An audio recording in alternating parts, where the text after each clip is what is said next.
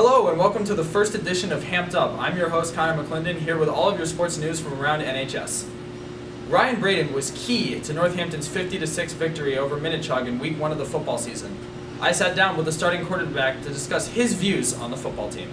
Freshman year, I was, you know, played quarterback on freshman and JV teams, so I had experience a little bit. Going into my junior year, Andy's sophomore year, we were both switching time at each uh, position, and coach thought my arm was better and thought that Andy was better blocker, he was a little faster, and he was taller, so we thought we could exploit that, and it's worked out pretty well.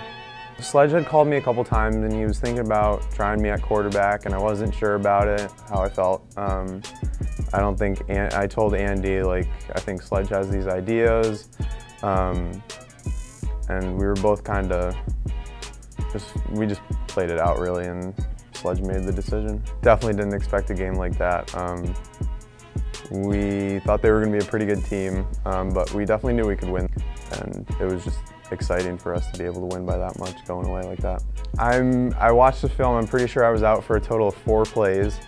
Um, yeah, uh, you know, it was 80 degrees out, so it was really hot, and we were tired, but our coaches got us in good shape, so that was I, you know, I didn't have to come out. Toughest game's the next game ahead of us, so, you know, we got Longmeadow.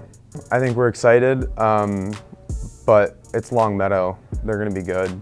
There's no two ways about it. Um, so we just have to prepare really well this week for a really good game. They run, their offense is pretty similar to ours, so we kind of know what to expect, but with them, with them, they're big. They have a bunch of big linemen, and their backs are just you know, average running backs, whereas we have smaller, quicker linemen, and our backs are a lot faster.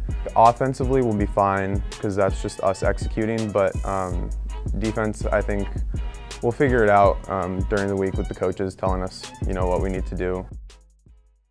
Both the Northampton boys and girls cross country teams got off to 2-0 starts on the season with wins over Amherst and Westfield in their first two meets.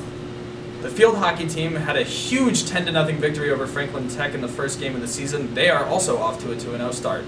Girls soccer is 2-0-1 through their first three games and have outscored opponents 9-1. And finally, boys soccer is 0-2-1 and has a tough matchup against Longmeadow this Friday as they will be missing a couple of key starters.